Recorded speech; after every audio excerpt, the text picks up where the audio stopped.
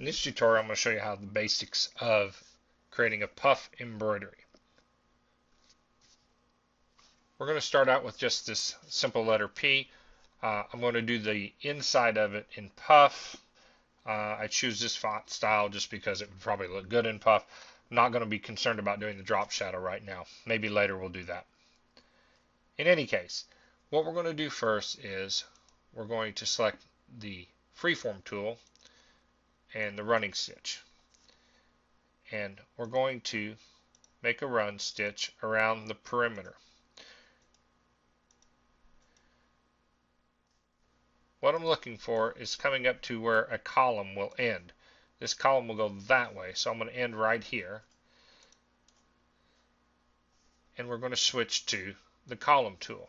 Now, since this one is going to be rounded on the end, it's probably not mandatory that we do this. However, if it was squared off, you would absolutely have to block it off. You see, these stitches running this direction are going to cut the foam here. Now what we want to do is we need to use a very tight density. Use our satin stitch. And we're going to use a density of around 2 for this so that the foam gets a nice clean cut.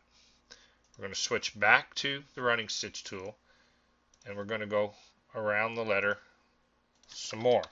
What this does is this kind of gives a preliminary cut to the foam.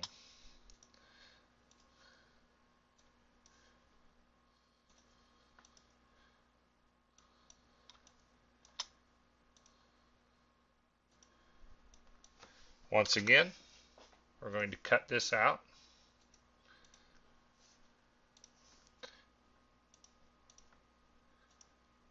with our capping block.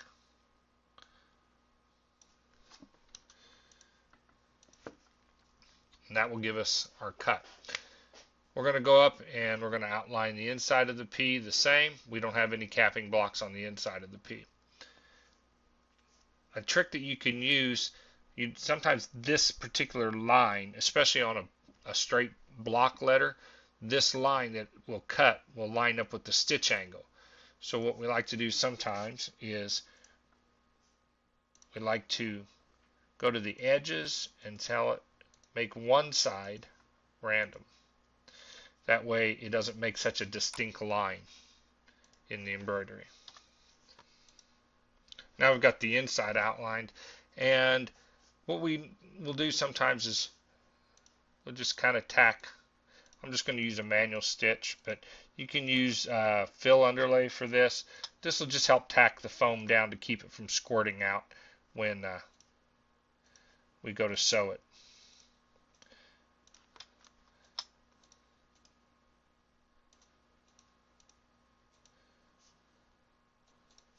Now we're going to come up here, we're going to make it very low density because I'm going to tack back across this and I don't want it to be really thick.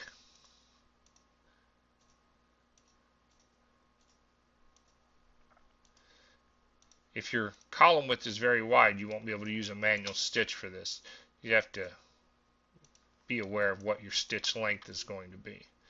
This letter is only going to be maybe an inch and a half tall, so this column width is Pretty simple. Okay. Now the only thing left to do is use the column tool.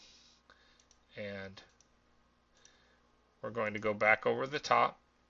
And you're going to digitize this just like you would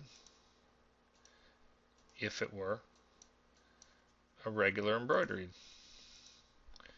Just remember that you're going to need to use a very high density of around 2 and be careful of your overlaps like in this area. Let's start here, end here, and continue on.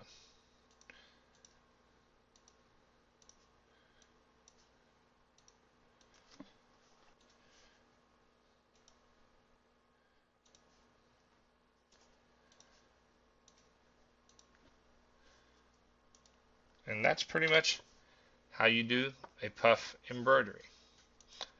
remember, your stitch count is going to be really high on these, so uh, charge accordingly.